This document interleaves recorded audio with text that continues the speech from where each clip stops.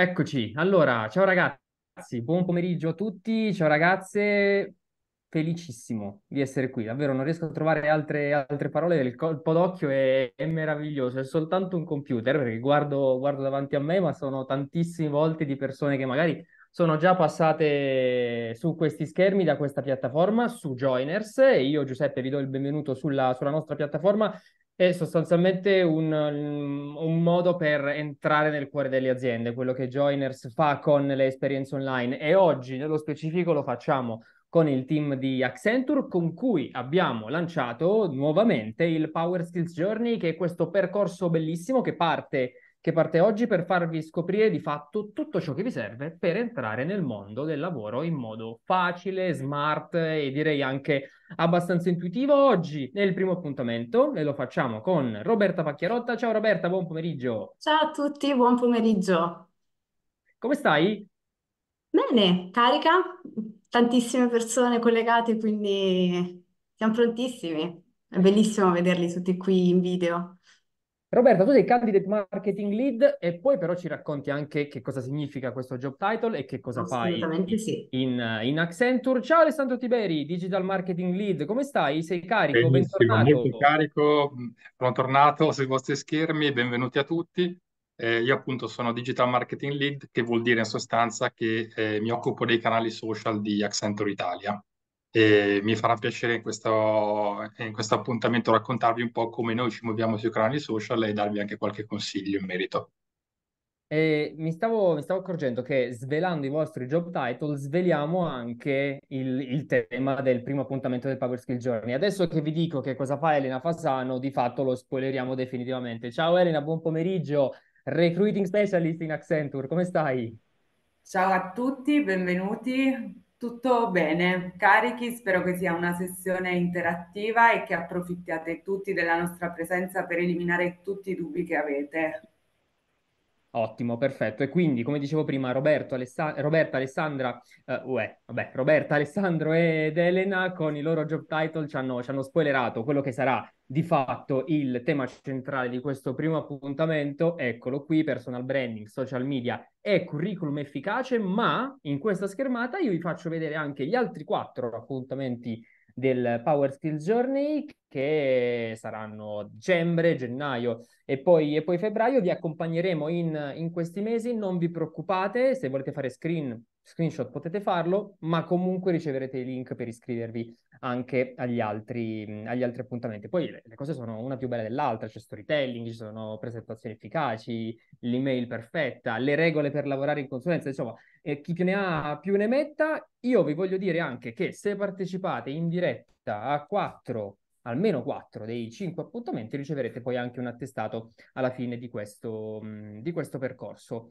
E, ehm, io direi, mh, cara Roberta, che tra 30 secondi ti lascio la parola perché c'è un programma super ricco e non vorrei togliere troppo tempo. Tanto poi le altre cose importanti ve le diciamo man mano. Nel frattempo, altri 30 secondi, come dicevo prima, per dire, uno, che siamo arrivati a quota 294 e quindi stiamo per tagliare il, il, il 300. Poi, informazione numero due, che la chat è a vostra disposizione. Ho già visto, ragazzi, che avete, l'avete inaugurata, la state riempiendo e mi auguro possa essere eh, ricca di domande e di curiosità, perché nella parte finale ci ritagliamo uno spazio per rispondere a tutto, quantomeno ci proviamo, perché questa, lo so che saremo inondati di, di domande, di dubbi e di, e di curiosità. E poi mi raccomando, rimanete fino alla fine perché? Perché c'è un quizzone finale che mette in palio tre consulenze con il team di Joiners. Allora, facciamo così. Uh, io lascio il palco a Roberta, ad Alessandro e a Elena. Sarò ovviamente qui dietro le quinte, quindi carissimi speaker di Accenture, per qualsiasi cosa fate riferimento a me. Perfetto, grazie mille Giuseppe. Direi allora di, di, iniziare. Facciamo giusto un piccolissimo giro di tavolo per raccontare un po' di più chi siamo e di che cosa ci occupiamo. Tanto di nuovo benvenuti a tutti, io sono Roberta Pacchiarotta e lavoro in Accenture da circa sette anni e mi occupo di candidate marketing, quindi sono candidate marketing lead per l'Italia. Che cosa vuol dire? Dire che gestisco a livello locale tutte quelle che sono le attività di marketing e comunicazione dedicate a chi si sta affacciando al mondo del lavoro e vuole conoscere un po' di più Accenture, quindi sicuramente anche voi fate parte un po' di, um, di queste persone. Quindi mi occupo di quello che è il sito Careers, ma anche di tutti gli eventi in università in collaborazione con il team recruiting. Alessandro, Elena, lascio anche a voi dire qualche parola e poi entriamo subito nel merito. Grazie Roberta, io appunto sono Digital Marketing Lead per Accenture Italia e mi occupo della programmazione delle nostre attività sui canali social di Accenture Italia e vi invito a questo proposito a seguirci se, se già non lo fate sui nostri canali social, noi siamo presenti oltre che ovviamente su Joiners eh, anche su LinkedIn, su Facebook, su Twitter, su YouTube e su Instagram, quindi mi raccomando lasciateci almeno un follow se vi piacerà questo, questo appuntamento. E sui nostri canali, eh, in particolare, noi pubblichiamo sia le notizie che riguardano i nostri casi di studio, eh, il nostro lavoro con i clienti, sia le nostre ricerche, i nostri point of view e anche tutte le opportunità che eh, Accenture offre ai neolaureati, alle persone con esperienza in generale, a tutto l'universo dei candidati. Quindi vi invito a seguirci così da scoprire anche quali opportunità ci sono per, per la vostra carriera. Bene, tocca a me. Ciao a tutti, io sono Elena Fasano, faccio parte del team di Talent Acquisition di Accenture. Sono in azienda da circa cinque anni e mi occupo della ricerca e della selezione e tutto ciò che c'è dietro questo mondo. Benvenuti ancora. Perfetto, grazie mille ragazzi. Io direi di iniziare rompendo un po' il ghiaccio per conoscere un po' la platea che abbiamo davanti. Quindi Giuseppe, se facciamo partire il nostro piccolo sondaggio, vediamo un po' quanto conoscete sia di Accenture, ma anche se avete un curriculum e se avete un profilo social professionale. Dovrebbero esservi sì. apparse le domande. Datemi, datemi conferma, ragazzi. Io le vedo. Ok, ottimo, perfetto. E quindi io direi che potete iniziare a rispondere. Ok, perfetto. Allora arrivano anche le Vediamo prime che risposte. cambiano in tempo reale, sì, Sì, quindi sì, sì, sì, sì, eccole, eccole, eccole. eccole. Perfetto.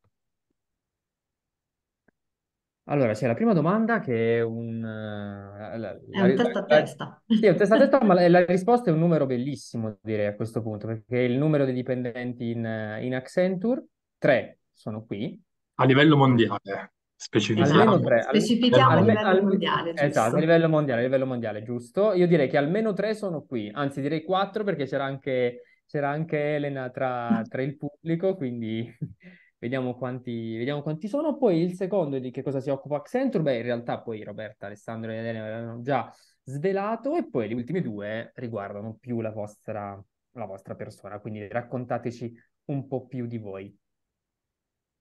Bene, bene, vedo che stanno rispondendo un po' tutti.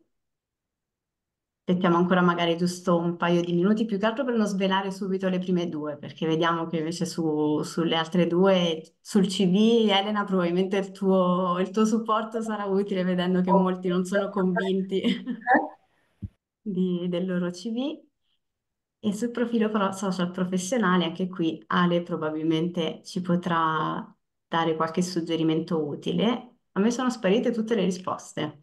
Eh sì, allora no, e cosa è successo? Che il sondaggio si era, si era bloccato, si era, mh, Si è diciamo, resettato. si era, si era resettato, sì, però ecco, noi vi diamo una seconda possibilità perché siamo buoni, quindi magari qualcuno di voi aveva sbagliato, adesso, adesso non può sbagliare più, quindi ci risiamo. Nel frattempo vediamo un po' le percentuali, eh, volano, tanto comunque le, le risposte arrivano, arrivano Ci subito. siamo, sì. E, e Sì, per, sì, per- e sì. per la prima, per la prima, io direi che c'è 2570 che ha pochi, pochi voti, però poi le altre tre. altre sono diciamo tutte un po' Eh, lì. siamo lì, Possiamo dare siamo un lì. primo indizio? Vogliamo dire quanti siamo in Italia? Ok, dai, ini- In, in- in Italia siamo più di 20.000 persone, quindi questo è per dare un'idea del- della scala più o meno della, della nostra azienda. Adesso tutti quelli che hanno votato 2570 si, si nascondono dietro al cappuccio. e- No, No, tranquilli ragazzi, fateci, fateci comunque compagnia, non andate No, via. assolutamente sì, non, fatto non è un esame. Eh, vedo, ho, vi- ho Esatto. visto, ho visto, ho visto Daniele col cappuccio. Daniele, ti ho visto, sei sulla mia sinistra. Direi che si Perfetto. sono E, assestati più o meno i numeri su, su 220, intorno ai 220. e Direi allora che Roberta, Alessandro, Elena, potete commentare pure. risposte. Esatto, vai, diteci, diteci pure. Allora, secondo me qualcuno ha cominciato a fare anche qualche piccola ricerca sul nostro sito, perché vedendo da come stava andando prima la prima risposta, eh, la risposta corretta sono 733.000 persone. Quindi siamo veramente tantissimi in tutto il mondo, come diceva Alessandro, solo in Italia siamo più di 20.000 e diciamo che questo è uno dei nostri valori fondamentali. Entriamo però un po' più nel dettaglio magari anche dopo. Di cosa si occupa Accenture? accompagnare grandi aziende nel loro percorso di trasformazione digitale, vedo l'85%, direi che è una grandissima percentuale. La risposta è giusta di per sé, ma sono in realtà giuste anche tutte le altre. Perché abbiamo creato con il nostro team di Accenture Song gli effetti speciali di Stranger Things ed è, non so se qualcuno di voi è appassionato, verrà raccontato anche durante la Games Week nei prossimi giorni a Milano come è stato fatto. Abbiamo sviluppato dei configuratori 3D per personalizzare le scarpe di Prada e, e anche l'artificial intelligence è una delle nostre tecnologie che sviluppiamo in collaborazione con i nostri clienti per analizzare i dati provenienti dai satelliti. Quindi in realtà facciamo veramente tantissime cose a livello internazionale con tantissimi player e tantissime aziende molto grandi. Sulle altre due, beh, direi che, ripeto, l'appuntamento di oggi probabilmente sarà super utile per, per tutti, sia per chi ha già il CV che per chi non l'ha mai scritto, e lo stesso per il social, perché magari daremo qualche suggerimento utile per andare a migliorare qualche aspetto di, del vostro CV o del vostro profilo social. Quindi io direi di non perdere altro tempo, visto che sono già le 5 e un quarto, e cominciamo con uh, il nostro il nostro appuntamento. Io prendo lo schermo e mi dite magari se si vede la presentazione. Sì, ragazzi, poi mh, per, per, chiudere il sondaggio, ognuno di, di voi deve cliccare sulla, sulla X, quindi la, la, chiusura del sondaggio spetta a voi. Decolliamo. Decolliamo. Decolliamo. Perfetto, grazie Giuseppe. Allora, come diciamo, oggi parliamo di personal branding, social media e curriculum efficace. Uh, non tolgo altro tempo per dire altre cose su Accenture, diciamo che ne abbiamo già parlato. L'unica cosa che dicevamo prima, appunto, è proprio il fatto che abbiamo tantissime dipendenti in tutto il mondo, ma questo perché? Perché le persone sono il nostro valore fondamentale e perché portiamo valore per le società con cui collaboriamo, per i nostri clienti, proprio combinando le tecnologie più all'avanguardia con l'ingegno umano e quindi le persone sono al centro di tutto quello che noi facciamo nei nostri progetti. Ma eh, andiamo direttamente avanti a quello che è l'argomento di oggi, quindi personal branding, social media e poi il curriculum efficace. Come immagino molti di voi sono stanno iniziando ad affacciarsi sul mondo del lavoro, quindi non so se siete, state finendo gli studi, siete neolaureati qualcuno ha iniziato già magari con qualche anno di esperienza, qualche mese di esperienza a lavorare, però è importante capire in che modo andare a presentarsi uh, nel, nel, mondo del lavoro perché quindi il personal branding è importante in questo, in questo ambito. Comincerei dai punti di contatto tra azienda e candidato, che nel momento in cui quindi vi affaccio dal mondo del lavoro ci sono tanti modi per entrare in contatto con le aziende. Da un lato vediamo la parte più aziendale, quindi il sito web, che può essere sia il sito careers che il sito proprio aziendale, in cui andare a scoprire un po' di più quelle che sono le informazioni sull'azienda di, di vostro interesse, quindi eh, non so, l'ambiente di lavoro, di quali progetti si occupa, di che tipologia di lavoro offre e i social media sempre aziendali che magari in un modo più informale vi raccontano comunque un pochino quello che è uh, l'ambiente lavorativo dell'azienda.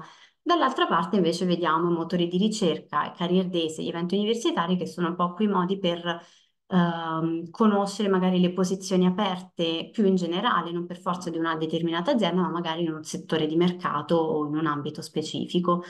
Career Days, ci tengo a specificare, sono molto importanti perché vi permettono di uh, conoscere anche magari delle persone che lavorano all'interno dell'azienda, che siano questi dei recruiter o anche semplicemente dei dipendenti che raccontano uh, cosa fanno all'interno dell'azienda e questo vi dà la possibilità di capire un pochino di più che, um, che tipologia di lavoro si fa, ma anche com'è lo spirito della, dell'azienda e quali sono i valori che offre. Ultimo, ma non ultimo, il networking personale, ovviamente avere dei, dei, contatti, dei collegamenti con delle persone che lavorano all'interno dell'azienda, ma non solo, anche dei contatti a livello social, magari su dei social professionali come può essere LinkedIn, può portare ad allargare proprio le proprie opportunità. Quindi oggi capiamo un po' in che modo uh, fare personal branding e perché è importante curare proprio il proprio digital brand all'interno dell'ambito lavorativo e nella ricerca quindi del lavoro.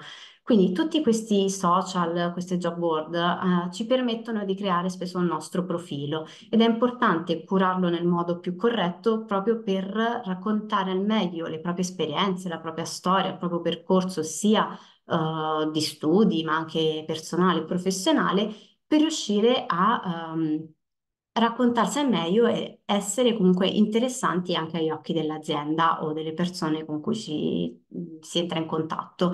È importante anche per rendersi irreperibili, perché uh, nel momento in cui siamo noi a candidarci per una posizione, ovviamente uh, siamo reperibili perché siamo noi ad aver mandato il nostro curriculum o il nostro contatto, ma dall'altra parte avere un profilo molto attivo e molto coerente con quello che è il nostro obiettivo professionale, ci permette di entrare in contatto e di essere poi visibili anche a altre persone che non sono nel nostro network e che quindi ci può aprire delle opportunità.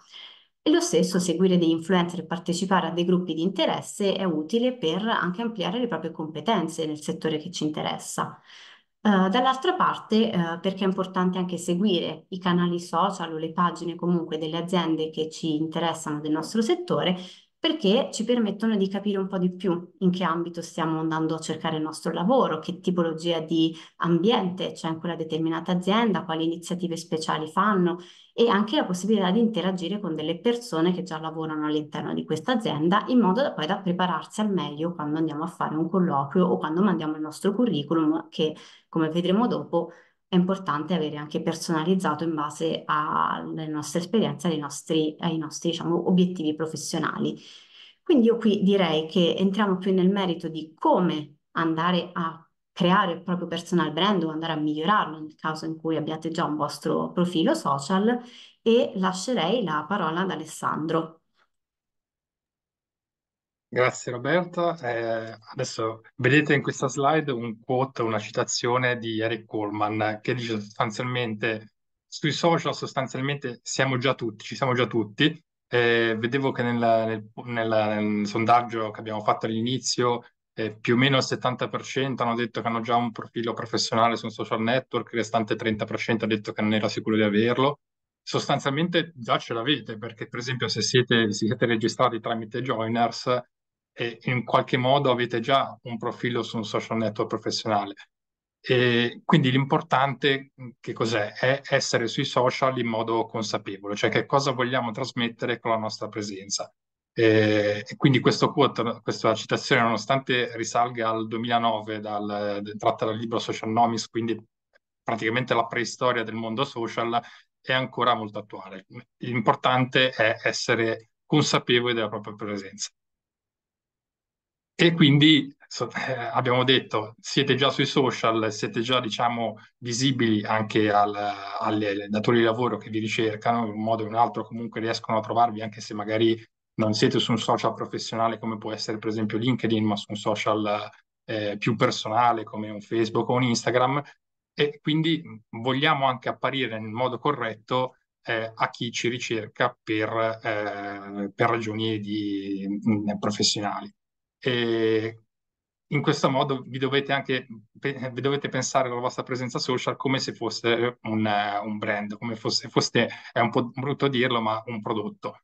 E Cosa vuol dire questo? Prendere possesso della propria narrativa vuol dire avere il controllo di come ci si racconta. E dovete essere visibili, siete già sostanzialmente visibili, è importante a questo punto eh, settare nel modo corretto questa, questa narrativa. E è importante anche approfittare dei social. I social hanno anche dei grandi vantaggi, ci permettono di raggiungere un numero, eh, un numero molto grande di persone, una rete professionale molto ampia eh, in tutto il mondo, in, in, più lingue, di costruire il vostro brand eh, personale e professionale interagendo con queste persone, eh, di espandere la vostra rete di, di conoscenze e di condividere le vostre competenze. Insomma, le possibilità sono, sono davvero tante. La realtà è che eh, lo facciamo tutti, ma alcuni lo fanno meglio di altri, quindi andiamo un po' a vedere quali sono i nostri consigli per farlo al meglio. Appunto, vediamo quali sono i pezzettini del Lego, i building blocks per costruire il vostro brand personale, quello che deve essere la vostra narrativa per quanto riguarda la vostra presenza sui social professionali. Eh, gli argomenti, gli argomenti di nicchia, su che cosa volete essere conosciuti? Eh, noi usiamo spesso parole in inglese, in Accenture, eh, nel mondo della consulenza in generale purtroppo c'è questo brutto vizio, eh, li chiam- mm, chiamiamo subject matter expert, cioè dove volete essere riconosciuti come esperti di un particolare argomento, cominciate a trattare quell'argomento con frequenza sui vostri canali social. E ovviamente anche gli argomenti generali devono far parte del mix vostra, della, dei contenuti che pubblicate, però aggiungendo sempre il vostro punto di vista. Eh, gli interessi personali, essere sui social non, come persona non vuol dire, non è la stessa cosa eh, di essere sui social come un brand o un prodotto. Che cosa ci differenzia come persona è, il, è quello che ci differenzia come, eh, come, esseri umani, cioè i nostri interessi, il nostro punto di vista eh, e i nostri valori anche. Quindi è importante tutti, mm, mettere insieme tutti questi elementi, capire cosa ci interessa trasmettere, quali sono gli argomenti che vogliamo trattare, come vogliamo trattare gli argomenti di carattere generale quali sono i nostri interessi personali che vogliamo condividere anche con i nostri potenziali datori di lavoro e quali sono anche i valori che ci interessa portare avanti nella nostra eh, vita professionale e personale. Questa è una breve checklist, diciamo, mm, mettiamo che eh, avete già creato un vostro profilo su un social network professionale, ma non siete sicuri che questo profilo sia efficace. E provate a pensare a queste, a queste domande. Per cosa voglio essere conosciuto? Qual è il mio tone of voice? Il tone of voice sostanzialmente è il modo con cui comunichiamo con, la, con le altre persone e il nostro consiglio è di essere il più autentici possibili, il più genuini possibili. Non vogliamo sembrare un robot, non vogliamo sembrare un brand, appunto, un brand di prodotto, e vogliamo trattare i nostri argomenti in modo personale. E i, tuoi, I miei attuali profili social che cosa trasmettono? Sono aggiornati? Risalgono per esempio a, al momento in cui ho iniziato i miei studi o eh, sono stati successivamente aggiornati con per esempio il titolo di laurea? Eh, di quali argomenti voglio parlare? Da questo deriva anche, eh, per esempio, quali altre persone voglio seguire, eh, quali network professionali voglio, voglio, quali network professionali voglio mettermi in contatto che cosa de- eh, devono cogliere su di me i recruiter attraverso i miei social media, quali sono sostanzialmente le mie competenze, le mie skill. E su questo andremo a vedere, ci sono mh, tanti social network professionali come Joiners eh, o come LinkedIn, per esempio, che permettono di taggare le proprie competenze in modo tale che i recruiter possano andare a cercare eh, per ambiti di interesse proprio eh, le skill che vi differenziano. In che modo voglio ispirare la mia audience? Eh, alla fine nel social e nella comunicazione in generale la cosa più importante è creare un rapporto, un contatto diretto con la vostra audience, perché vi devono amare, che è una parola importante, ma perché vi devono leggere, eh, perché devono scegliere di andare sul vostro profilo mh, per vedere come trattate un determinato argomento rispetto al profilo di mh, mille altre persone. E, e oltretutto in che modo potete anche ingaggiare questa audience, questo pubblico, questi contatti che avete e eh, per esempio aggiungendo delle, delle, call to action, una richiesta alla fine di un post, per esempio chiedendo quali sono il, i consigli o le opinioni rispetto a un determinato argomento che avete appena esposto nel vostro, nel vostro post. Con quale tipo di network dovrei interagire? Eh, so per esempio che mi interessa l'artificial intelligence, forse è il caso di cominciare a seguire, di interagire con eh, questi esperti de- dell'argomento, magari possono essere i professori della vostra università, possono essere eh, i grandi influencer eh, sui social, eh, possono essere dei manager di aziende che, che vi interessano, che trattano questi argomenti di frequente e quanto tempo posso dedicare. Non tutti ovviamente possiamo essere sui social 24 ore su 24, meno male, aggiungo, eh, l'importante è avere una cadenza coerente, cioè eh, costruire un proprio diciamo, piano editoriale personalizzato sulla base del tempo che riuscite a dedicare.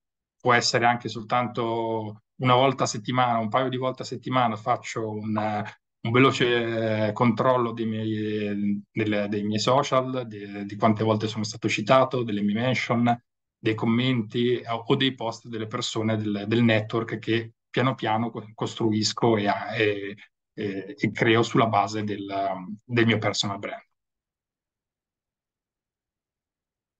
Ora, eh, una volta che il profilo è stato costruito, dobbiamo anche iniziare a pensare a quali contenuti posso pubblicare e come questi contenuti possono essere freschi e eh, rilevanti.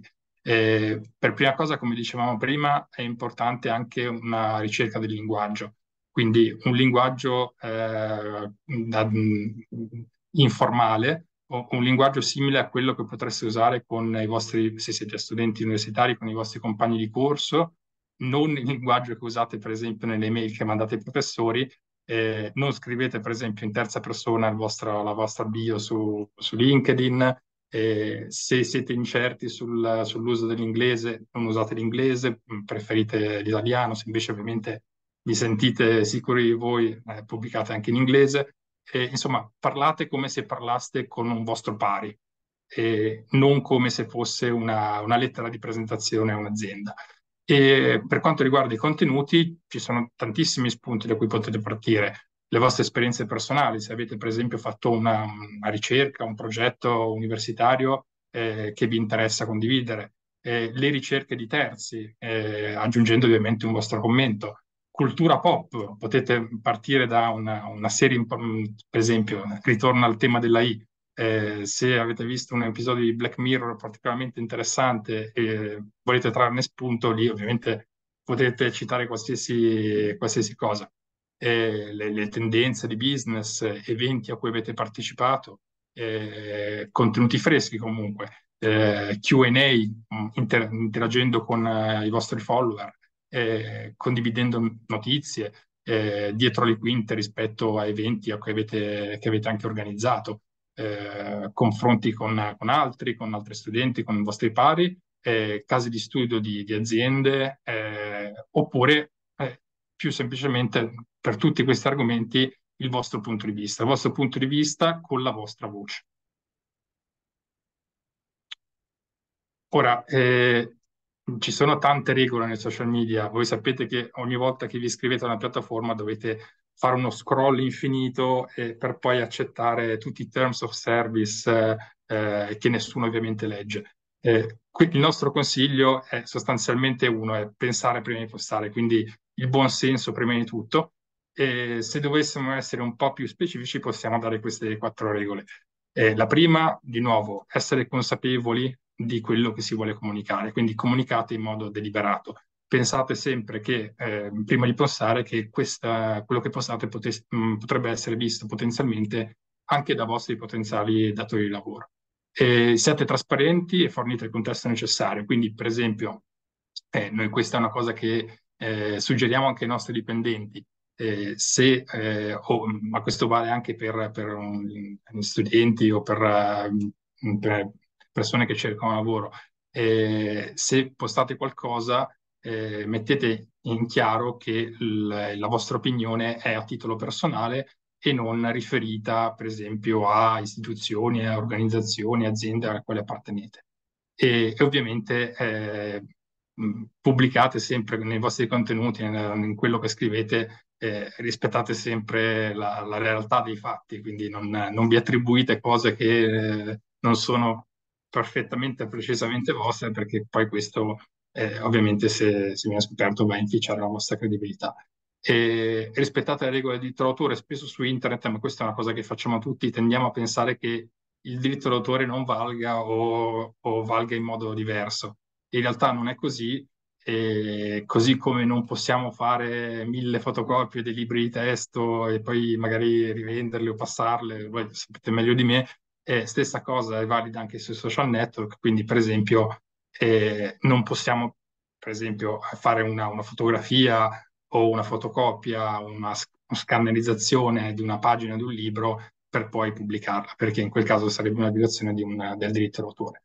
E poi eh, proteggete la vostra privacy prima di tutto e anche quella altrui. Quindi, eh, per esempio, nelle fotografie, eh, se volete pubblicare un, eh, una fotografia di, di, un gruppo di persone, eh, prima chiedete il permesso alle persone che volete includere nel vostro post.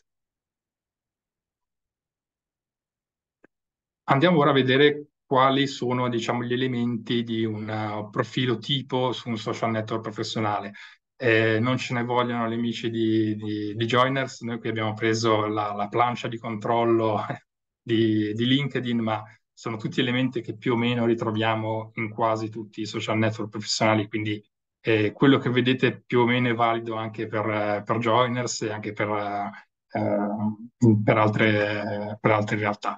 E, ehm, Andiamo a vedere un po' gli elementi. Eh, la foto del profilo, la foto professionale, si tratta della prima cosa che le persone vedono quando visiteranno il vostro profilo, quindi eh, sceglietela con attenzione. Eh, I consigli che possiamo dare su questo sono di scegliere una foto che ritrae solo voi, eh, possibilmente con lo sguardo in camera perché crea ovviamente più rapporto con, uh, con chi guarda il vostro profilo è una foto recente di non più di 3 o 5 anni, ma dipende anche dalla vostra età ovviamente, sorridente, invitante, a colori e senza filtri, così da non risultare troppo artificiosa. E ovviamente potete anche cambiare la foto di sfondo. Eh, questo rende il vostro profilo forse un pelo più professionale, potete scegliere sia una, un'altra, fo- un'altra vostra foto, sia una, un, un, colore che, o diciamo un'immagine più grafica, eh, però lasciarla diciamo eh, senza, senza una customizzazione forse risulta un po' meno professionale. Poi andiamo a vedere la posizione o sommario o headline, sostanzialmente quello che appare sotto il vostro nome. E qui consiglio di essere coerenti, di presentarvi nello stesso modo sui vostri diversi canali, per esempio su Joiners eh, o su LinkedIn. E il, il, consiglio qui è, visto che avete solo 120 caratteri per questa, eh, su LinkedIn in particolare, per questo modulo, eh, di usarli al meglio, includendo il vostro ruolo attuale, eh, quindi aggiornarlo se eventualmente non è aggiornato, eh, potete aggiungere anche le vostre skill, in questo caso potete aggiungere per esempio ruolo, trattino con le skill più importanti e le vostre qualifiche particolari, per esempio se avete vinto di recente un premio, questo sarà anche nel, nel motore di ricerca, questo sarà visibile eh, quando i recruiter vanno a cercare diversi profili. Passiamo poi al modulo About o Informazioni, e questa è la vostra opportunità di parlare delle vostre competenze, delle vostre esperienze e obiettivi per, per creare dei contatti preziosi. E le prime tre righe su LinkedIn di questo modulo non richiedono un click, eh, quindi usatele, usatele bene. Di nuovo, qui il consiglio è di scrivere in modo naturale, autentico, genuino, in prima persona, con un linguaggio appunto diretto e scorrevole e scrivere in, in periodi completi e in paragrafi brevi, di evitare se possibili eh, dei, dei, bullet point infinite, liste lunghissime, eh, e di aggiungere comunque delle keyword, eh, cioè delle, delle, parole chiave riconoscibili eh, dal, dall'SEO, quindi dalla Search Engine Optimization. Questo vuol dire, per esempio, che se volete candidare a un profilo o a una posizione eh, che ha a che fare con, eh, di nuovo, eh, posso citare l'artificial intelligence, ma anche per esempio, non so, il, eh, il digital marketing, ricordatevi di inserire all'interno di questo modulo le parole che eh, riconducibili a quell'ambito. E, e, poi appunto eh, nel, all'interno del, um, scusate, torno indietro, eh, all'interno del, del, proprio profilo è possibile anche allegare il proprio curriculum vita come eh, PDF, quindi eh, fatelo perché questo, mh, mm, diciamo, toglie lavoro e rende più semplice ai recruiter a risalire poi alla, alle vostre competenze guardando il vostro profilo. E, e, poi, una volta che avete costruito il vostro profilo completo, è importante anche eh, creare il vostro network questo lo potete fare seguendo le aziende che vi interessano, eh, seguendo appunto gli influencer di quel determinato ambito, le singole persone che lavorano all'interno di quelle aziende, se le conoscete potete inviare, per esempio se le avete conosciuto durante un career day o un evento universitario, potete inviare la vostra richiesta magari con una breve presentazione dicendo ci siamo conosciuti, vi ho visto, mi ha fatto piacere partecipare, eccetera e è sempre più efficace nel momento in cui mandiamo una, una richiesta di, di, amicizia o un follow, eh, aggiungere una breve presentazione. E, e poi eh, una volta che siete all'interno di questo network è importante anche interagire con, con queste persone, lasciare un commento, eh, lasciare un like, una reazione, un loro post. LinkedIn, per esempio, è un social network che premia molto l'interazione. Sostanzialmente potete iniziare già a costruirvi un vostro feed, un vostro profilo, già solo interagendo con i contenuti delle altre persone, così da creare anche un, eh, diciamo un, un, inizio del vostro personal branding partendo dai contenuti di, di altri. E, oltretutto su, su, LinkedIn, ma anche su altri social network professionali, è possibile entrare a far parte di gruppi, eh, gruppi tematici eh, legati a determinati interessi. Eh, LinkedIn ha oltre un miliardo di utenti e mi pare ricordare quest'anno ha raggiunto gli oltre 2 milioni di gruppi, quindi cioè, ci sono gruppi per qualsiasi tipo di interesse. Una volta all'interno di questi gruppi potete parlare di quelle tematiche specifiche e spesso all'interno di, questi, di queste comunità eh, vengono anche condivise delle opportunità di lavoro relative al tema trattato dal gruppo. Andiamo ora a vedere un esempio di un post ben fatto, un post che eh, ha raggiunto anche eh, una, un'interazione, un livello di interazione molto alto e cerchiamo di eh, capire un po' quali sono gli elementi che costituiscono un post ben fatto. Eh, per prima cosa partiamo dagli asset, quindi che cosa potete fare per arricchire il vostro post oltre al, al testo e alla, alla, alla scrittura ben, ben realizzata. E sui social network in generale funzionano molto eh, i contenuti rich, quindi contenuti che oltre al testo includono anche immagini, video, eh, documenti in PDF o anche dei, dei, sondaggi, dei poll. Quindi il nostro consiglio è quello di includere sempre eh, eh un'immagine, un video, così da aumentare l'interazione sul vostro contenuto. E poi di nuovo, questo tendiamo sempre a sottolinearlo, siate personali, parlate in prima persona, eh, raccontate come quello di, eh, che, che, state trattando eh, vi, ha, vi, ha, coinvolti personalmente. In questo caso potete vedere appunto un nostro collega, eh, una, una, persona della nostra leadership, eh, che racconta come il team di Accenture Song ha lavorato alla realizzazione eh, degli effetti speciali di, di Stranger Things e, taggate le persone e, ruoli, e i luoghi rilevanti. E questo permette di aumentare eh, il reach del vostro post perché se le persone che vengono taggate poi riprendono il vostro post, ovviamente si espande eh, il numero di persone che vedrà il, eh, i vostri contenuti. E, e oltretutto ogni, ogni click al tag conta come interazione e aumenta il vostro livello di interazione più aumenta l'interazione, più li, gli algoritmi delle piattaforme social tendono a premiare il vostro post e a farlo vedere più spesso eh, nel, nei, nelle, nei, feed del, degli altri utenti. Stessa cosa è valida per gli hashtag. Eh, ovviamente non vogliamo includere migliaia di hashtag non rilevanti, ma utilizzare degli hashtag pertinenti a quella conversazione per attingere alle reti che trattano in quel momento eh, quei temi e, e poi appunto fornite il contesto, eh, il come, il dove, il perché e, e, siate tempestivi. Per esempio questo post è stato pubblicato subito prima del, eh, del finale di stagione della, della, della, quarta stagione che attendevamo tutti di Stranger Things e, e quindi diciamo la, era molto alta in quel momento sui contenuti che riguardavano Stranger Things, c'era il, c'era molto discorso online su, su, Stranger Things e il nostro collega ha approfittato di quel momento per citare nostra, il nostro coinvolgimento nella realizzazione degli effetti speciali. E attirate i lettori per coinvolgerli, quindi includete una call to action, che in questo caso era un link eh, a un nostro showreel eh, che mostrava come erano stati realizzati questi effetti speciali ma che può essere anche una, una richiesta, per esempio, di commenti, di condivisione di opinioni da parte del, dei vostri follower.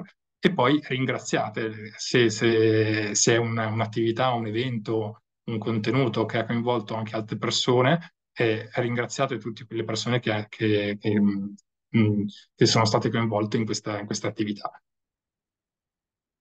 E poi vediamo anche quali sono le, le possibili, i possibili contenuti da associare al post. La foto, eh, il documento, per esempio su LinkedIn potete caricare un PDF, che può essere anche un PDF di un vostro lavoro, se avete, o anche per esempio della vostra tesi di laurea. Mm, se, se ritenete che possa essere utile mettere anche solo un estratto di una vostra ricerca, di un vostro lavoro, potete farlo.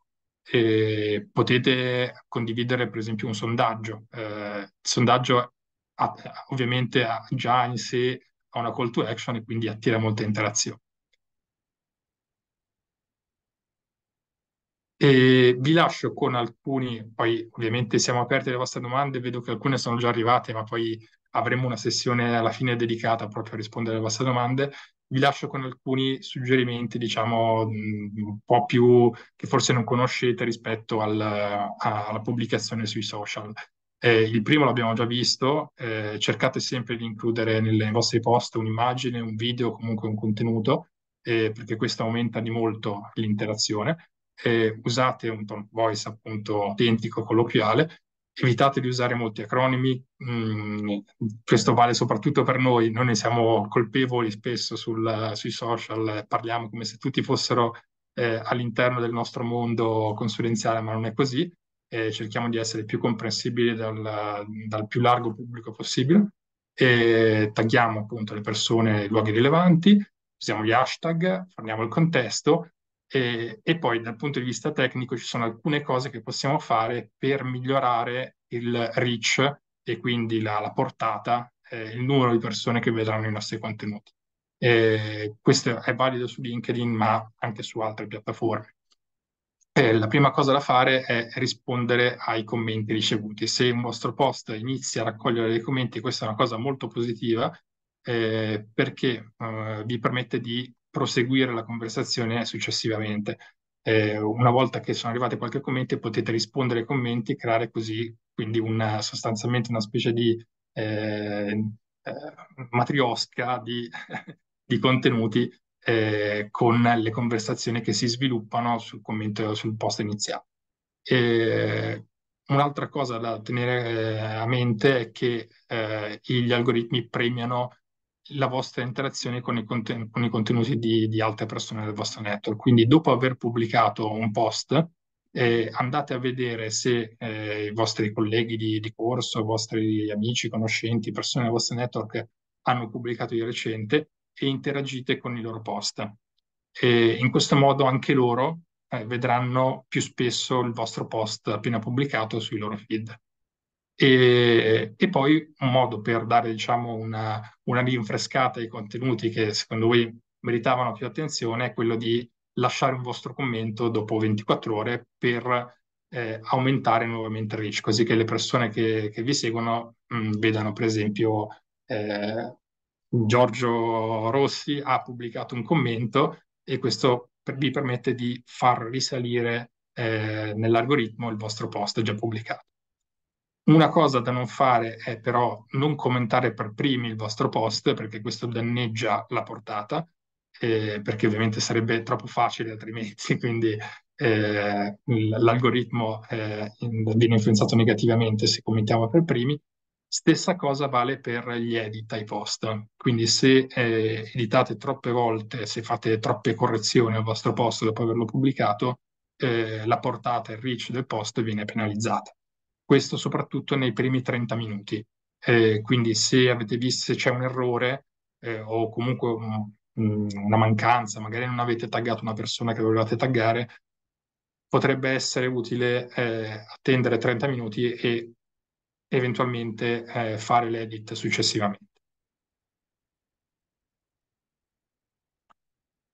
Ora facciamo un, ricapitoliamo brevemente quello che siamo detti e diamo gli ultimi consigli sul, sulla eh, come costruire appunto il vostro personal branding, come curare la vostra reputazione online e, e agire con consapevolezza sui social. Eh, eh, rispetto ai contenuti eh, di altri, ascoltiamo sempre, se vediamo come si sviluppa la conversazione, capiamo chi sono gli interlocutori di quella conversazione, se è il caso di intervenire. Eh, non selezioniamo superficialmente i contenuti, eh, valutiamo se si tratta purtroppo ormai pieno di, di fake news, eh, capiamo bene da quali sono le fonti dei contenuti con cui interagiamo. Eh, non esageriamo nei contenuti, non, eh, non facciamo dichiarazioni eh, troppo tranchant e non eh, troppo estremiste. Cerchiamo di non urtare la sensibilità di, di, chi ci legge, soprattutto se siamo su un social network professionale, teniamo conto di qual è il tono della conversazione da, da tenere. E condividiamo le nostre passioni eh, personali, le nostre competenze, le nostre idee in modo consapevole con l'obiettivo di dare un valore aggiunto alla discussione. Quindi il nostro punto di vista è la cosa che ci differenzia se, se, vogliamo interagire con un contenuto che riguarda un argomento anche tecnico, è importante dare il proprio punto di vista personale. Quindi mh, mm, quello che avete imparato nel, nei vostri corsi di studio, quello che, che state facendo nella vostra carriera, eh, aggiungete sempre un, un tocco personale. E non fingendo però di, eh, di, essere stati coinvolti o di, eh, di, conoscere cose che in realtà non conosciamo, perché eh, ovviamente se ci vogliamo poi successivamente candidare a una posizione e viene fuori che così non è, eh, il recruiter facendo una, eh, dando un'occhiata al vostro profilo può riscontrare questa, questa mancanza. E, e, poi appunto instauriamo con il network e con le persone che, che ci, interessa, ci interessa interagire eh, delle relazioni autentiche e costruttive, quindi ricordiamo sempre che dietro ogni profilo c'è una persona reale e dal, dai social network professionali possono scaturire grandi opportunità eh, di, di, di, crescita di carriera e di, anche di crescita personale. Quindi eh, approfittiamo del fatto che esistono queste community per creare un, un, proprio, un nostro percorso di crescita.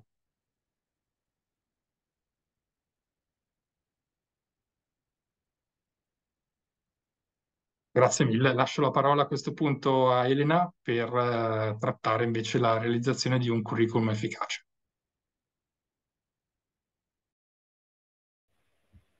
Grazie Alessandro. C'è una domanda per te, non so se vuoi rispondere adesso o aspettiamo la fine.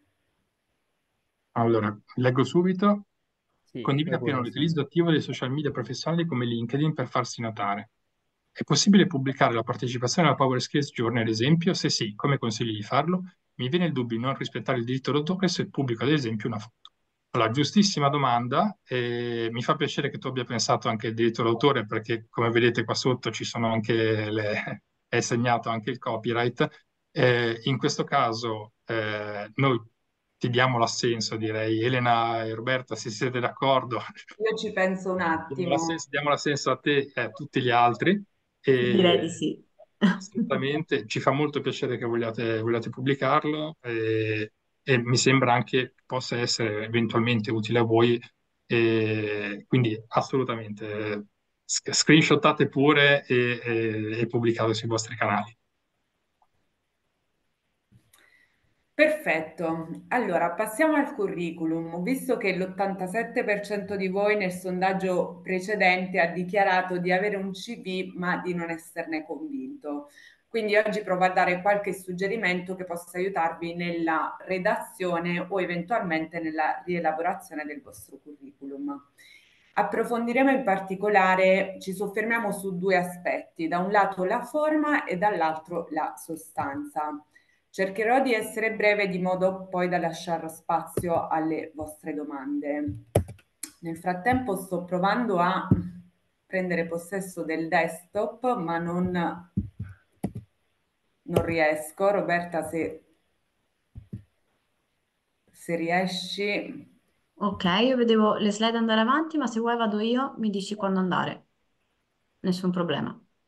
Ok, sì, meglio preferisco, scusate, il bello della Nessun diretta. problema. Allora, partiamo dalla forma. Qui vi diamo alcuni consigli che vi suggeriamo di ascoltare, a prescindere dal modello che decidiate di utilizzare. È importante che il vostro CV sia sintetico. Avrete sicuramente già sentito dire eh, dare questo consiglio. È importante che inseriate informazioni mirate, che non vi dilunghiate troppo nell'inserire dettagli o nel raccontare quella che è l'attività che svolgete. Questo perché? Perché mh, poi sarà durante il colloquio di selezione che avrete modo di raccontare e condividere tutti i dettagli che volete. Altro suggerimento sembrerà banale, ma vi assicuro che dopo aver visto centinaia di CV non lo è affatto. Eh, controllate sempre e fate attenzione ad eventuali errori grammaticali o di sintassi. Questo non significa che mh, nel caso in cui ci fosse un errore di distrazione non è quello il problema. Al contrario, se questi errori si ripetessero nel corso di tutto il CV, mh, sarebbe sinonimo di una poca attenzione, di una poca cura, per cui prestate molta attenzione a questo aspetto. La coerenza. Questa è una raccomandazione, non raccontatevi per quello che non siete, cercate di inserire le esperienze che rispecchino le vostre competenze, quello che avete vissuto a livello formativo a livello professionale nell'arco della carriera. Uh, questo è importante anche perché nella fase di colloquio, nel caso in cui non siate coerenti, mh, possono emergere ovviamente delle incongruenze e questo poi può svantaggiarvi nella valutazione finale. Ultimo consiglio, la personalizzazione, l'ha ripetuto anche eh, Alessandro eh, prima, vale per i social, vale per il CV, importante che il CV vi rispecchi e altra cosa importante a seconda del ruolo che voi volete ricoprire e che eh, personalizzate, cerchiate di customizzare il CV sulla base dell'annuncio per cui vi state candidando. Faccio un esempio concreto. Nel caso in cui voleste candidarvi mh, in ambito di sicurezza informatica, in quel caso sarebbe utile che nel vostro CV evidenziaste quelle esperienze formative e o professionali se ne avete che avete avuto e che sono in linea con quel settore questo sicuramente può agevolarvi di molto. Fino a qui è tutto chiaro, ci sono domande? Io andrei, farei già una sessione un po' interattiva. Allora, vediamo un po'. Serve, guidami pure tu perché... Sì, sì, sì, sì guarda Elena, stavo, stavo, leggendo. In realtà le domande per ora sono rivolte eh, più che altro ad Alessandro e quindi alla parte di, di okay. LinkedIn. Quindi direi magari comunque tutto chiaro. Andiamo un po' più avanti e vediamo un po'. Perfetto. Poi altre cose da non dimenticare, inserire sempre le proprie esperienze dalla più recente alla meno recente, ricordarsi di inserire l'autorizzazione al trattamento dei dati personali e segnalare l'eventuale appartenenza alle categorie protette. Ok, veniamo invece alla sostanza. Quindi qui andremo a vedere quelli che sono i paragrafi che indubbiamente devono essere presenti all'interno del vostro CV, a prescindere poi dal modello e dal formato che decidiate di utilizzare. Uh, questi paragrafi sono, uh, Roberta se torno un attimo indietro faccio un attimo una panoramica, grazie, anagrafica, formazione, esperienza lavorativa, competenze, hobby, interessi. Nell'anagrafica, che dovrebbe essere la prima sezione, Ok, quindi cognome e nome, data e luogo di nascita, residenza, domicilio, numero di cellulare, email e contatto, link al vostro profilo personale LinkedIn. Qui volendo se per caso magari avete sviluppato un sito web uh, o qualcos'altro di questo tipo, potete inserire tranquillamente anche in questa sezione il link al vostro sito personale. Ovviamente mi raccomando, fate in modo che questo link sia sempre inerente alla posizione per cui vi candidate. Passiamo invece pro al prossimo paragrafo che è quello della formazione. Questo paragrafo può essere suddivisibile in due sottoaree, chiamiamole così, da un lato formazione scolastica e dall'altro formazione extrascolastica.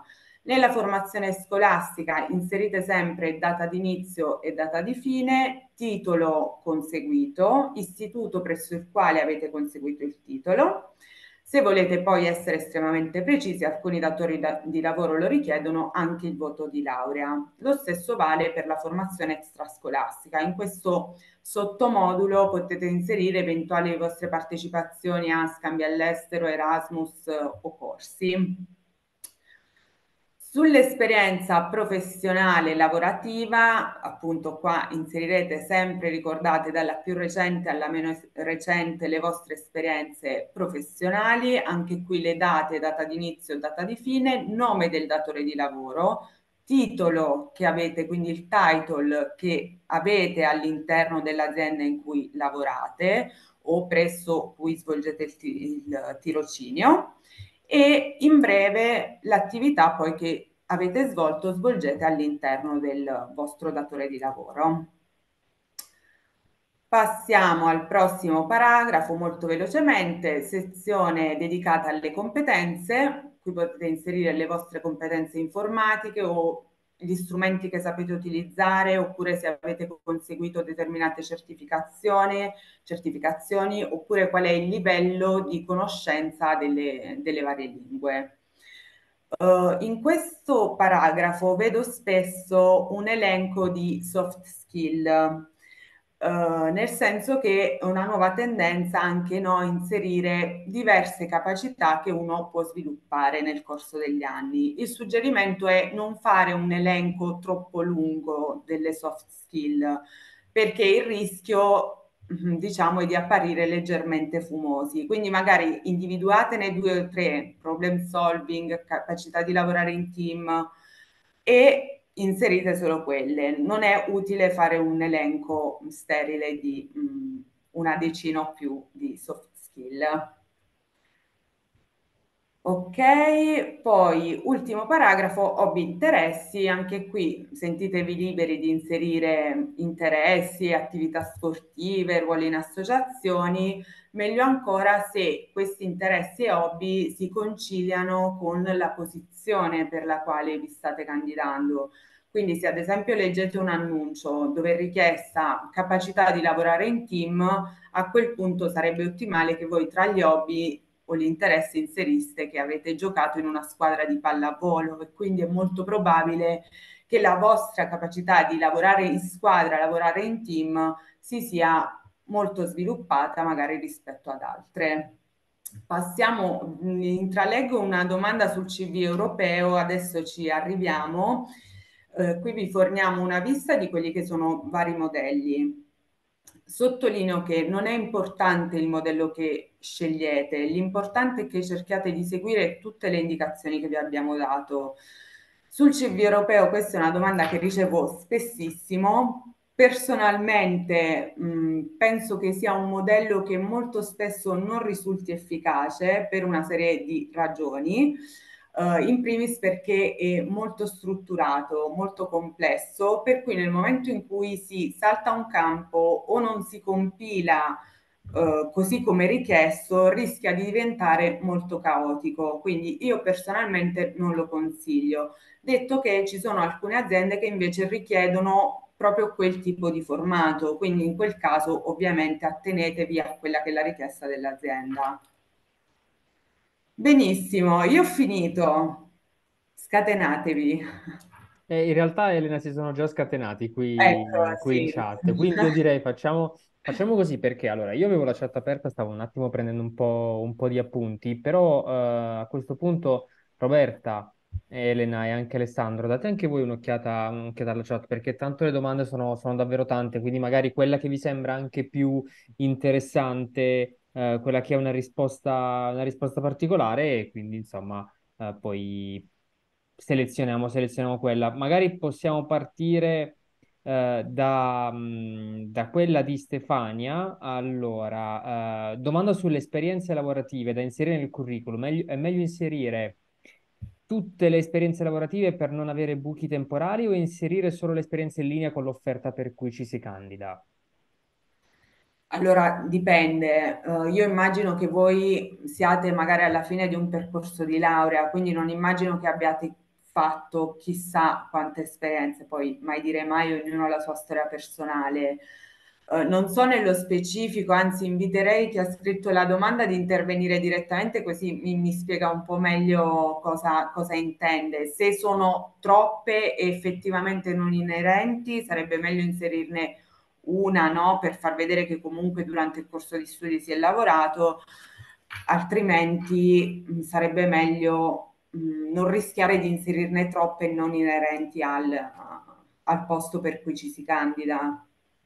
Allora, io intanto Dipende. Stefania ti ho, ti ho attivato l'audio, ecco, Stefania. se vuoi... Sì, ci sono. Ecco, No, sì. io in realtà già ho terminato mh, parte del mio percorso di studi, quindi già ho, ho svolto anche un tirocinio e attualmente eh, sto lavorando per la posizione che vorrei continuare a, a far crescere. E eh, la questione era, ho svolto il tirocinio, poi Sì. dopo ho dovuto svolgere altri lavori per non stare senza far nulla e poi ho ripreso di nuovo lo stesso lavoro, Ok, il buco però... Ok, allora hai risposto, puoi inserirlo, magari non dove però parli dell'esperienza professionale su cui ti vuoi concentrare, magari creando un sottoparagrafo in cui ins- inserisci eh, esperienze extra, ti faccio un, un esempio, proprio per sottolineare che tu in quel lasso di tempo ti sei comunque dedicata ad altre attività. Se però queste altre esperienze non sono in linea con quello che tu vuoi fare in futuro, ti direi che sarebbe poco rilevante inserirle e considera che poi c'è sempre il colloquio di selezione. Il CV uno strumento funzionale, ma poi quello che è importante è il colloquio, dove si ha modo anche no, di raccontarsi e di eh, poi far capire quello che è il percorso personale. Ok, grazie mille. Grazie a te. Allora, aspetta che ne avevo salvata un'altra. Beh, io direi di rispondiamo a questa qui, a quella di Fabiana. La domanda più importante, come si può entrare a lavorare, entrare in contatto e quindi lavorare con, con Accenture? Chi, chi si lancia nella risposta? Roberta, Elena, Alessandro?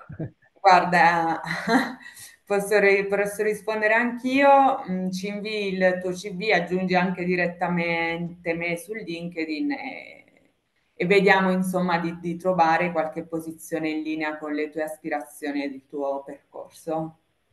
Perfetto.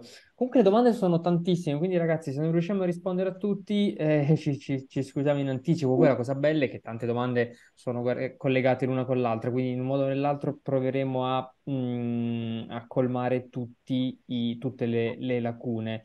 Allora, eh, Gabriele, in che modo valorizzare i corsi effettuati individualmente sul curriculum? Come scusami, ti ho perso. In che modo valorizzare tutti i Mhm. corsi effettuati individualmente sul curriculum, ovviamente, valori- valorizzarli lì. Allora, ti direi innanzitutto inserendoli semplicemente all'interno del, del CV e poi magari eh, seguiamo sempre il criterio della mh, coerenza con la posizione per cui ci candidiamo. Quindi se tu hai conseguito dei corsi che sono in linea, tanto vale inserirli, mettere in ordine data, data, cer- nome della certificazione direi che è sufficiente e poi durante il colloquio avrai modo di parlarne per raccontare più dettagliatamente quello che è stato il, il corso. Ottimo, perfetto. Allora, mm, mm, mm, mm, lo share così torno a vedervi anche io e a riuscire a sì, leggere le domande. esatto. E poi Giuseppe avevo visto un paio di Vai, vai, domande vai Alessandro, vai Alessandro perché tanto... che vado in ordine che erano arrivate all'inizio. Allora. Domanda per Alessandro. Eh, condivido appieno l'utilizzo attivo dei social media professionali come LinkedIn per farsi notare. Questa l'abbiamo già letta, quindi sì, eh, ho- ho- mh, se volete pubblicare eh, la vostra partecipazione, ho girato in chat i nostri tag eh, Accenture Italia, così da, da renderci anche visibili i vostri post e poi aggiungeremo anche delle, delle nostre reazioni delle- dai nostri canali corporate. Ehm, avrei una domanda anch'io. Ha senso chiedere collegamenti a persone, a persone cui- con cui si hanno già dei collegamenti in comune, ma che non conosciamo direttamente e che lavorano in un settore azienda che rientra tra i nostri obiettivi professionali. Quindi persone con cui, che non conosciamo direttamente, sì, possiamo farlo, però aggiungendo una nostra presentazione. Se sono persone con cui non abbiamo già interagito in passato, presentiamoci come se foste a un, a un evento di networking. Quindi dite, vi conosco perché abbiamo queste amicizie in comune, abbiamo questi contatti in comune, sono interessato anch'io a quest'ambito, vuoi accettare la mia richiesta? Poi, domanda successiva, è corretto utilizzare LinkedIn per scopi personali o una volta che si lavora presso un'azienda, LinkedIn diventa un filtro per il dipendente e quindi postare solo temi legati all'azienda a cui si fa parte.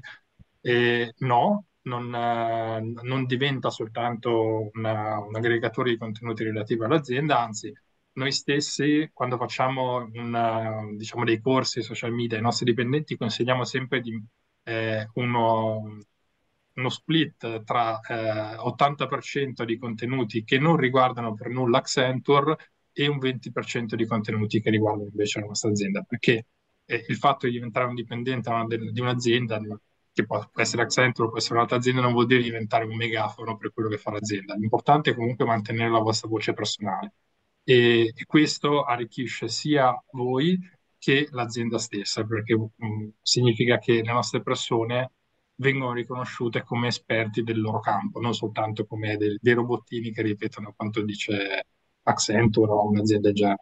Quindi assolutamente il vostro profilo continua a vivere vita propria anche dopo che venite assunti. È importante ovviamente rispettare tutte le regole eh, riguardo le social media policy di una determinata azienda, ma quello vale per tutti e la più importante è la confidenzialità. Quindi se avete a che fare con un cliente, con un prodotto, un lancio di una eh, di una campagna, eccetera, è importante non fare spoiler sostanzialmente.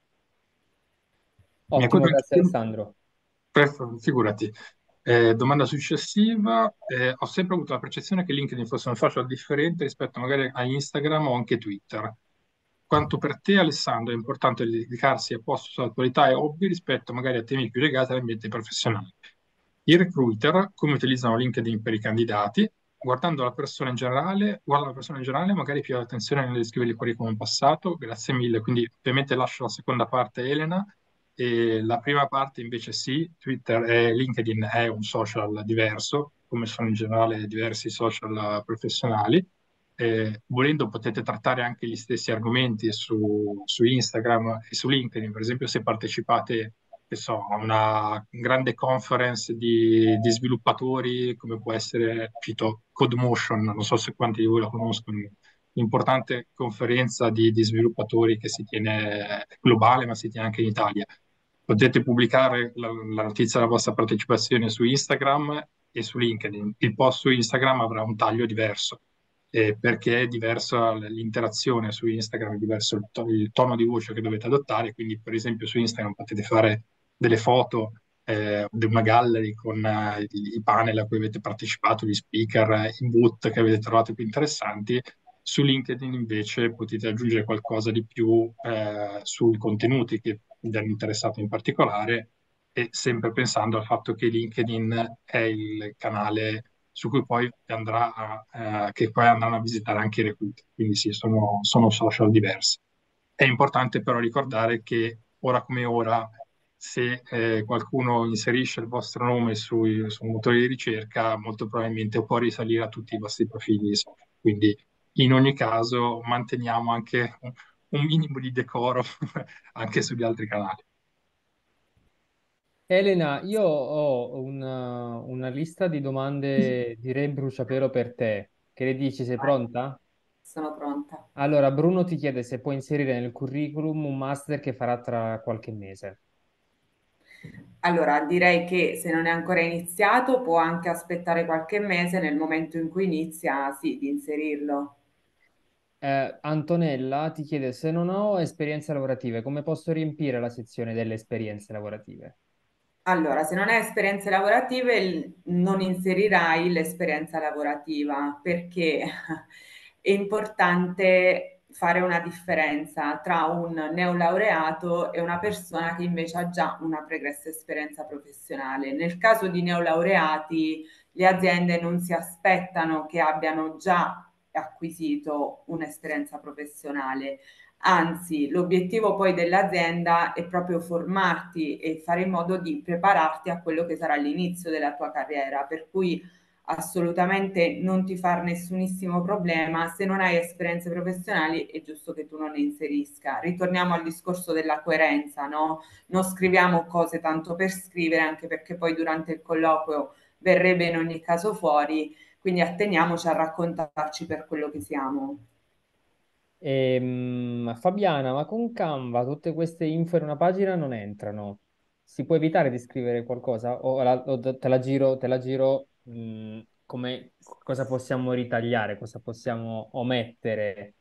Perché... Allora, a parte che io non ho parlato di una pagina, nel senso che l'importante è che non sia eccessivamente lungo. Adesso che sia una pagina o che sia di due pagine o anche di tre, non succede niente. L'importante è che le descrizioni non siano eccessivamente dettagliate, perché considerate che dall'altro lato avete visto prima, no? in Accenture Italia siamo 20.000 persone e qualcuno deve pure averli assunti, questi dipendenti. Di conseguenza riceviamo milioni di CV al giorno e quindi essere sintetici no? significa anche agevolare la lettura di chi sta dall'altro lato, no? E aiuta a valutarvi con più velocità. Secondo me è una soluzione win-win perché da un lato chi fa un CB sintetico riesce a far risaltare alcune capacità di sintesi, di precisione, dall'altro lato chi lo riceve riesce velocemente ad analizzare tutte le candidature che riceve. Allora, mm, per Elena, Gilda ti chiede esperienze di volontariato, dove è meglio inserirle? Allora, secondo me negli hobby interessi, tranquillamente. Perfetto. Facile. Ehm, mm, mm, allora, Katia, io vorrei lavorare nel settore audiovisivo. Come allegare e inserire il portfolio nel curriculum? Ecco, uh, allora noi ovviamente io vi ho parlato in linea generale no, mh, di quelli che sono i suggerimenti. Per alcuni tipi di professioni non è detto che il CV sia lo strumento giusto, se penso appunto alla domanda che abbiamo appena ricevuto.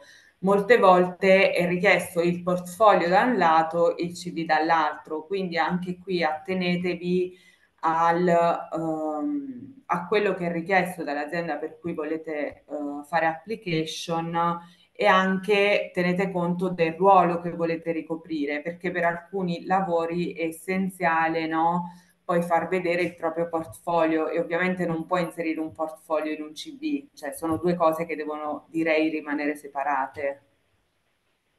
Perfetto, ottimo. Uh, Sara chiede, mm, una laurea in giurisprudenza è affine con la vostra azienda?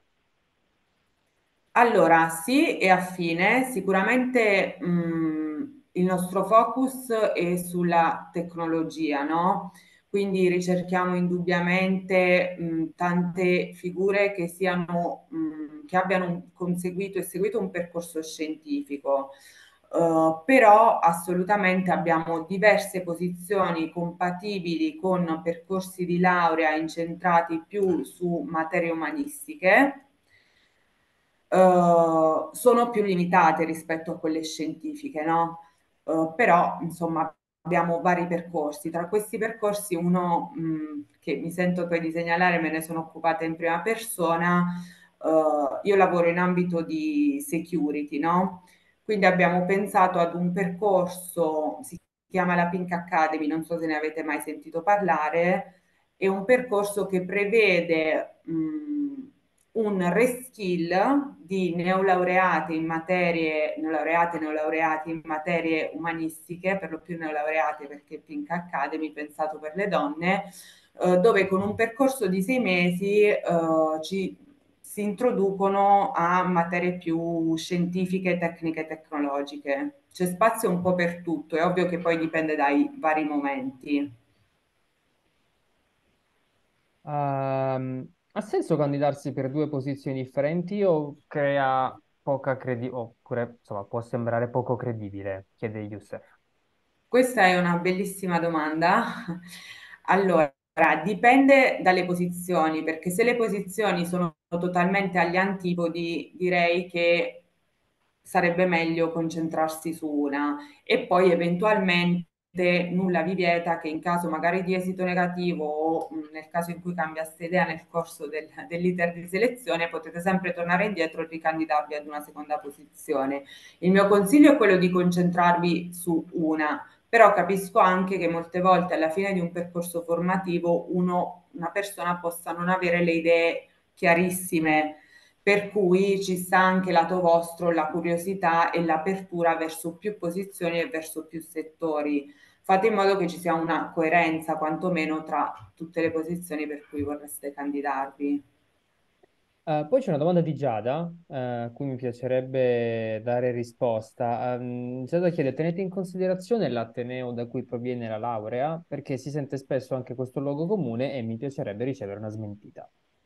Ti confermo, smentisco assolutamente che non, non teniamo conto del, dell'Ateneo nel senso che nel CV prima dicevo inserite il nome dell'istituto, ma in realtà potete inserirlo come non inserirlo, non è quello che conta e, e non è quello eh, l'aspetto rilevante che poi un, un recruiter guarda in fase di selezione. In Accenture cercate figure legate alla consulenza ambientale e sostenibilità? E se sì, quali sono le competenze che cercate?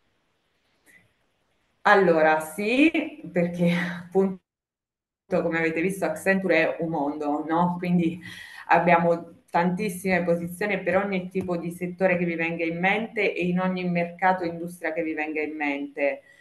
Uh, magari parliamo in privato sulle posizioni nello specifico, così ti so indirizzare anche verso le persone che poi si occupano direttamente di quell'ambito. Allora, facciamo prendere un bicchiere d'acqua ad Elena, perché altrimenti finisce il fiato. Alessandro, torno da te perché c'era Francesco che ti chiedeva il tuo percorso formativo, anche Ah, lui appassionato in digital marketing. Eh, lo, lo condivido volentieri, non so quanto possa aiutarti, ma lo condivido volentieri. Eh, io ho studiato eh, giornalismo e sono poi entrato a far parte del team Accenture occupandomi all'inizio del- dell'ufficio stampa. Quindi un percorso non proprio digital, anche se nel, il mio corso di giornalismo era un corso di giornalismo multimediale. Perfetto, grazie Alessandro. Allora, Elena, io torno da te perché avevo salvato la domanda di, di Klaus. Uh, per qualche anno ho seguito un corso, ma poi ho capito che non era quello che- nel quale vedevo un futuro e quindi ho cambiato. Secondo te, Elena, è meglio mettere questa esperienza tra le formazioni per colmare il gap di anni oppure no? Ma io direi che se hai seguito il corso, inseriscilo tranquillamente, poi nessuno ti giudica, no? Nel corso della vita so- succedono tante cose, per cui il fatto che tu abbia deciso di cambiare direzione non è assolutamente un qualcosa che, che ti penalizza. Quindi inseriscilo se, le- se l'hai fatto e poi durante il colloquio anche qui racconterai quello che è stato il tuo percorso, quali sono le motivazioni che ti hanno portato invece a cambiare direzione. Cambiare, ricordiamoci che è sempre sinonimo di intelligenza. Allora, io mh, leggo, leggo l'ultimo perché poi ci ritagliamo lo spazio per un, per un quizzone con tre consulenze in palio. La domanda delle domande, quanto conta l'età per un recruiter? Ma quanto conta? Mm, Non conta l'età, vi direi, conta l'esperienza professionale che uno ha, gli obiettivi che uno ha. Per un neolaureato conta tanto, direi più di tutto, quella che è la motivazione e l'interesse verso una determinata posizione, verso una determinata azienda. Ma l'età, eh, ad oggi, per fortuna, possiamo dire che non è più un fattore per fortuna così eh, rilevante. Perfetto, ottimo. Allora, abbiamo ricevuto tante altre domande. Poi Alessandro è stato gentilissimo per aver condiviso i link delle posizioni aperte in Accenture. Eh, ha ribadito più volte di, di- di- di contattarci su, su LinkedIn, vale, lo stesso discorso vale, vale per me. Insomma, se volete contattarmi per quanto riguarda l'organizzazione del percorso, Roberta, Elena, Alessandro sono super attivi, quindi sentiamoci anche privatamente. Ehm, io adesso vi condivido il mio schermo perché? Perché mh, per ogni esperienza online del percorso Power Skills Journey noi abbiamo messo in palio tre consulenze, tre consulenze con gli esperti del, del nostro team, eh, durante le quali avrete di fatto libertà di fare, di fare domande e quindi di chiedere consigli per quanto riguarda il curriculum, soft skill, ehm, programmi più utilizzati in azienda, modi per entrare in eh, consulenza e così via. E, e quindi che cosa abbiamo fatto? Abbiamo preparato un quiz, tre domande con classifica provvisoria e poi classifica finale. Le prime tre persone della classifica finale avranno eh, diciamo, questa, questa bella opportunità. Sarete ricontattati direttamente da noi, quindi quello che vi chiediamo è di inserire il vostro nome, magari anche il vostro cognome eh, quando vi mh, mm, registrate qui su menti.com. Potete sia scansionare il QR code che inserire il codice che trovate che trovate in basso. Io nel frattempo vedo 90, ecco, 102 persone che ci hanno raggiunto qui su, su Menti. Aspetto Aspetto un altro po' perché invece su Zoom siamo 295, quindi vediamo, vediamo qualche, altro, qualche altro secondo. Non so Alessandro, Elena, se nel frattempo, nel prossimo minuto, nel frattempo che arrivino tutti gli altri, volete rispondere a qualche altra domanda. Certo, siamo qui apposta. Alessandro, se mi dai supporto tu per, per la chat, perché io sto condividendo e mi è più, un po' più complicato. E, allora, vediamo un c'è una domanda rispetto a, ci sono diverse domande rispetto a, a, specifici percorsi di laurea, ma quelli credo che sia più opportuno rispondere privatamente. Um, una domanda riguardava eh, i progetti fatti durante il percorso universitario. Dove sarebbe meglio inserirli? I primi riconoscimenti ricevuti vanno inseriti? Domanda di Anna Maria. I primi riconoscimenti, ho capito. I primi riconoscimenti ricevuti durante il percorso universitario per i progetti fatti durante il percorso. Allora, mm, se i progetti, mi, mi ripeto, però mm, alla fine la risposta è questa, se i progetti che avete seguito sono compatibili con la posizione e quindi possono suscitare, no, mm, aumentare l'interesse dell'azienda che li riceve, ben venga inseriteli all'interno del CV, anche magari nella, tranquillamente nella, nell'esperienza formativa, perché alla fine si tratta sempre di, di formazione. Se però eh, l'intenzione è quella di fare l'elenco degli esami conseguiti o dei corsi o dei progetti, a quel punto mh, il rischio è di diventare un po' caotici. Quindi seguite sempre la linea guida e inerente lo inserisco, non inerente evito di farlo. Perfetto. Allora facciamo così, visto che siamo arrivati comunque a 242, il numero si sta stabilizzando, io direi di, di partire. Ragazzi, avete 15 secondi per rispondere a ciascuna delle domande, conta anche il, la velocità che, um, che impiegherete, di fatto, i secondi che impiegherete per rispondere alla domanda. Partiamo con la prima. Allora, eccoci qui. Tra l'altro le domande ripercorrono quello che Alessandro ed Elena hanno snocciolato fino a poco fa, quindi non, non ci siamo inventati nulla. Allora, andiamo, andiamo avanti, 226, 30 persone pronte e passo. Ops, perdonatemi, premo invio per partire. Allora, la prima domanda che vi facciamo è mh, mm, come deve essere un buon personal brand?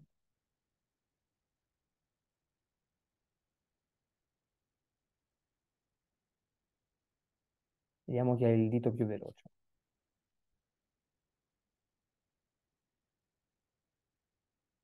E ovviamente la risposta in questo caso era dinamico, autentico, immediato e integrato. Io vado avanti per vedere la classifica provvisoria sono i momenti più, più belli, dove c'è più competizione in assoluto. Su Menti e Giulia è al primo posto, vediamo se riuscirà a confermare, vediamo se il podio rimarrà lo stesso anche per le altre. Vado avanti, così cerchiamo di essere anche puntuali. Domanda numero due, eccola qui. Da che cosa è caratterizzato un buon post?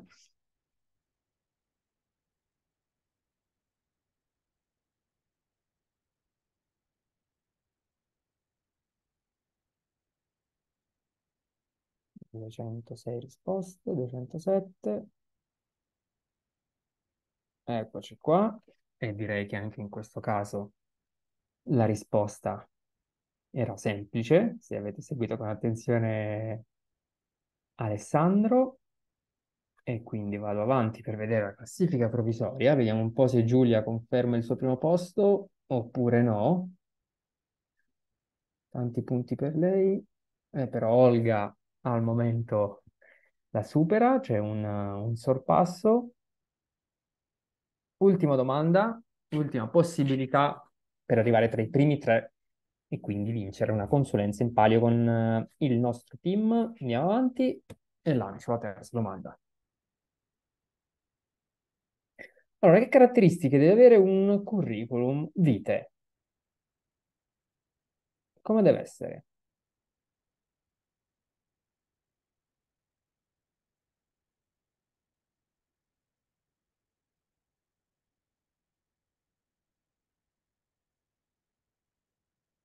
Ottimo, perfetto. Beh, diciamo che Alessandro e Roberta, le risposte mi consolano. Sono eh, stati attentissimi. non male, per fortuna, questa è la cosa più importante. Vediamo la classifica finale. Allora, Olga, veloce anche qui, ma vediamo come muta.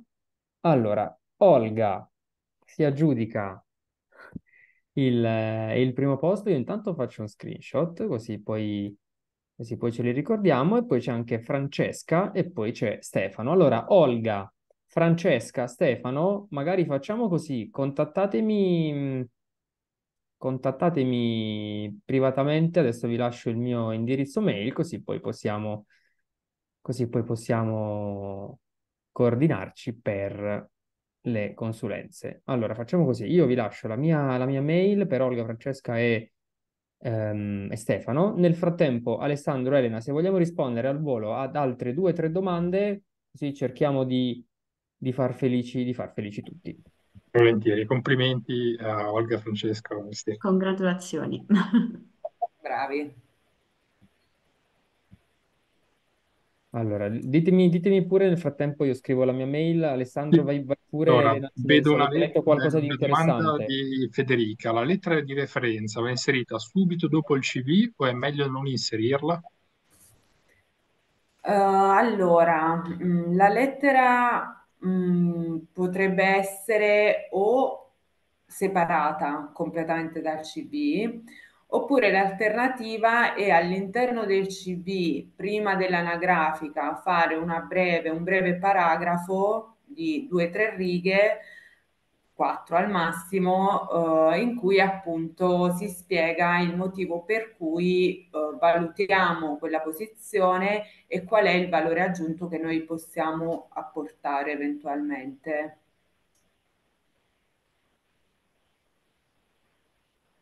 Vedevo una, una domanda poi eh, che riguardava sia i social che il CV eh, di Costanza. Per Elena, per quanto riguarda la breve descrizione delle esperienze lavorative, deve essere elenco puntato usando i verbi all'infinito o descrivendo tutto? Per Alessandro, questo discorso della descrizione vale lo stesso per LinkedIn? Allora, è questione di stile, scegliete lo stile che più vi rappresenta. A me, io sono una persona abbastanza ordinata, precisa, preferisco il, l'elenco puntato, però se voi invece preferite una descrizione lineare, liberissimi di, di appunto mh, inserire quello che più vi identifica. Per quanto riguarda LinkedIn, dipende dal modulo in cui volete inserire questa descrizione. Se eh, volete inserire, se reputate questa descrizione così importante da inserirla nel modulo iniziale informazioni, consiglio di inserirla in un paragrafo, eh, quindi in una frase completa. Se invece volete aggiungerla soltanto o anche nel modulo esperienze, che è fatto apposta per questo mm, genere di di informazioni, e vi consiglio appunto di, anche qui di usare l'elenco puntato come se fosse un CV. Perfetto, ottimo. Io chiedo soltanto a Francesca, Francesca F, di, di palesarsi, ma per il semplice motivo che non, non- non- non ho letto, non c'era il cognome su Menti e così non, non sbagliamo, perché nel frattempo vedevo che Francesca con cognome F non è, non è l'unica e quindi Francesca se ti va di, di scriverci che sei stata tu la seconda. Ehm, allora, prima di chiudere, Sì, vediamo... le- rispondo ad un'ultima Sì, domanda sì, che vai, vai, vai pure Elena. Prendo di Bruno, io vorrei lavorare nella consulenza di sostenibilità, purtroppo ho sbagliato percorso di studi, come posso migliorare questa mia mancanza? Detto Bruno che non è una mancanza, capita a tutti di appunto cambiare, quello che magari puoi fare per inserirti più facilmente è seguire un corso che magari poi ti possa facilitare nell'inserimento del mondo del lavoro. Perfetto. Allora, io intanto, eccomi Francesca Fortuna, perfetto, mi appunto anche il tuo, il tuo cognome. E grazie, grazie a te. Uh, Alessandro, Elena, Roberta, io ho condiviso anche il link per iscriversi a tutti i prossimi appuntamenti del Power Skills Journey, perché lo dico adesso, lo ripeto, magari qualcuno è entrato qualche istante dopo l'introduzione. Questo in realtà è stato il primo di cinque appuntamenti, di cinque voli bellissimi, e quindi iscrivetevi anche, anche agli altri per completare tutto il viaggio, direi direi di utilizzare la metafora del viaggio, e se partecipate a quattro di, al, almeno 4 di 5 appuntamenti, poi potrete ricevere anche l'attestato di partecipazione. Alessandro, Elena, Roberta, io vi ringrazio tantissimo del vostro tempo. So che tra l'altro Elena la, la, la ritroverò in, nel, nel, terzo, nel terzo volo, se non vado errato, giusto Elena? Sì, sì, Giuseppe, dovrei esserci io, non è ancora confermato al 100%. In ogni caso io ti aspetto, se ci sei mi fa piacere. È stato un piacere, grazie mille a tutti per le domande e ci rincontreremo magari in qualche modo. Alessandro e Roberta, tanto in un modo o nell'altro li, li ritrovo anche dietro le quinte, quindi eh, eh, ci vediamo presto. Grazie ragazzi. Mi farà piacere poi vedere tutti i post che usciranno, che, che ci citeranno e citeranno questa esperienza e ovviamente noi interagiremo. E grazie ancora per, per, la partecipazione e vi invito anch'io a partecipare ai prossimi appuntamenti perché sono davvero interessanti. Eh, se avessi avuto la facoltà di sapere le cose che ci racconteranno i colleghi nel, all'inizio della mia carriera, sarebbe stato molto utile. Cioè, in particolare ho visto che c'è un, un appuntamento sull'email perfetta e quello è clamoroso. è clamoroso. Alessandro, è una skill importantissima. Decisamente sì. Facciamo, facciamo, così, facciamo questo momento per lo screenshot finale. Allora, ragazzi, accendiamo tutte le videocamere, sorrisoni da, da foto, da foto professionale, anche se in realtà non sarà in altissima qualità come è normale che sia, però va bene lo stesso, così poi condividiamo tutto su LinkedIn. Allora faccio così, al mio 3 io screenshot, ma lo fate anche voi. 1, 2, 3. E ce l'abbiamo. Grazie ragazzi, alla prossima.